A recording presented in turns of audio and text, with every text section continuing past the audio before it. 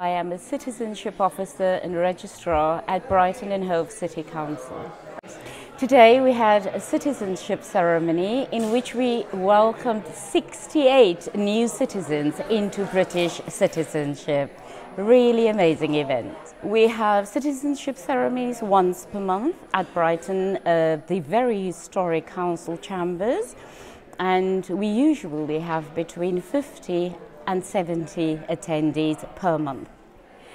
What I love is that everybody is always so happy.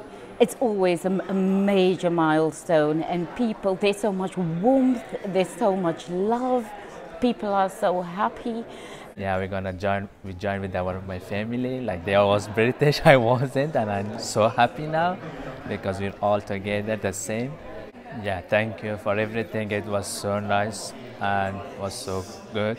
I enjoyed a lot, and especially about the hospitality of the people. The ceremony is, for me, the most special thing is, is, is where I've walked a long journey with people during the period they were applying for citizenship and all the difficulties uh, that they had to overcome. Uh, they, you know, some people had, have had really troubling and long journeys to get to this point. And I think the best thing of this day for me is that I know how important this it is important milestone for everyone, but especially for those who come from countries of conflict.